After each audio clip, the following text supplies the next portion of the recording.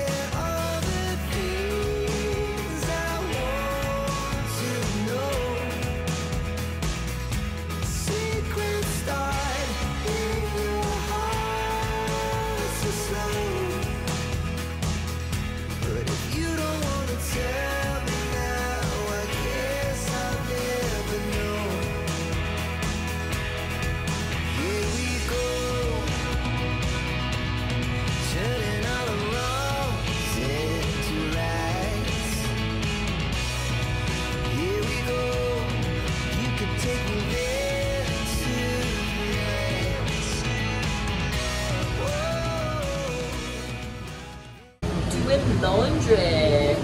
So it just takes the ship's card. Oh, that's how we're doing that. And now we're gonna go have lunch and then we're gonna come back and put them in the dryer.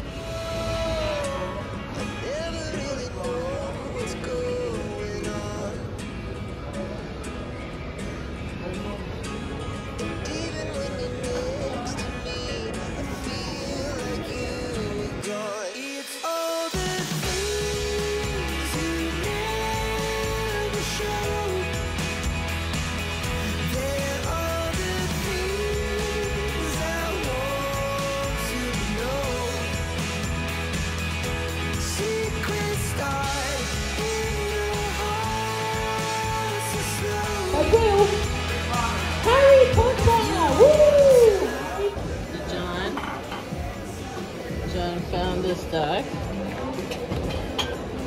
And then John found a Howard. A little, you wearing a little tux? Distinguished gentleman. Very nice. John almost broke his neck getting past me to get the big duck.